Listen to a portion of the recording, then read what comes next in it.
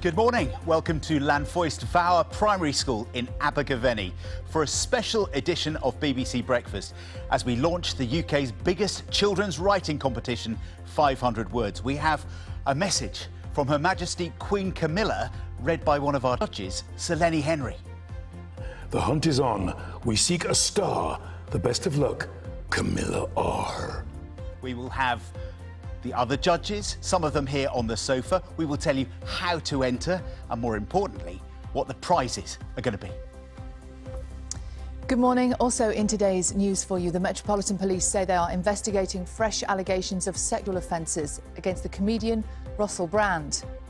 Newcastle hospitals failed to send out 24,000 letters from senior doctors to patients and their GPs after they became lost in a new computer system.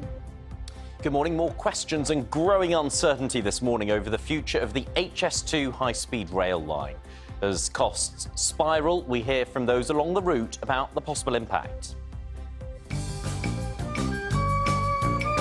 The actor David McCallum, who played a Russian spy in The Man from Uncle, has died at the age of 90.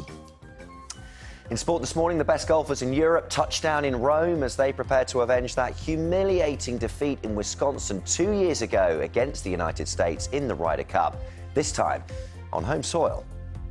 Good morning. We've got some rain and showers pushing northeastwards through the course of today, but also we'll see some sunny spells develop.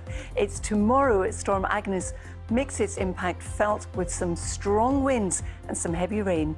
I'll have all the details later in the programme.